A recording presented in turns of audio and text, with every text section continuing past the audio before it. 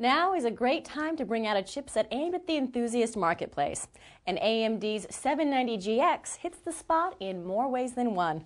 First off, the 790GX HD3300 IGP is identical to the HD3200 found in the 780G chipset.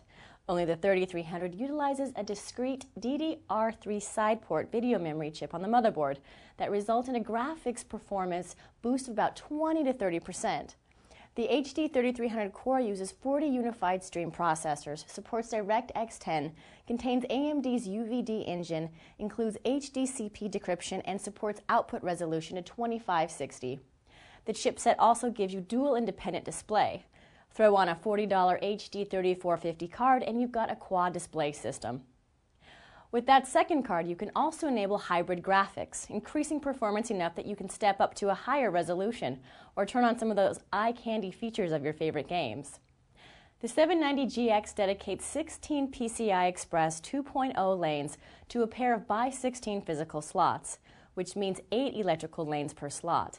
That's more than enough bandwidth for any modern graphics card, even the HD 4870. Now, at 300 a pop, is anyone going to plant a pair of 4870s on a board with integrated graphics? Probably not.